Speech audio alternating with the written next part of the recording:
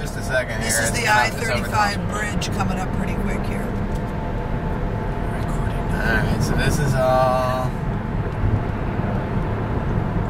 Yeah, we're This is kind of where they sort of staged it right here. This is where they did most of the work. Yeah. And then we're gonna hit brand new blacktop in about five seconds. Oh, I see it. I might get over the next lane. And it's five lanes wide, and you'll notice the shoulder's super wide too because they've got plenty of room for a light rail trains when they eventually do that. So it's super That's the big. shoulder is where it's going to be? No, but they just the, Oh. the lanes are oh, it's, Oh, I it's see. extraordinarily large. So they can. They widened it then. they did. They opened this yesterday morning? Yep. Wow. And now we're on it. And when you see the blue wavy statue things, that's when you start going over the water. Wavy statue. Oh. You'll see it.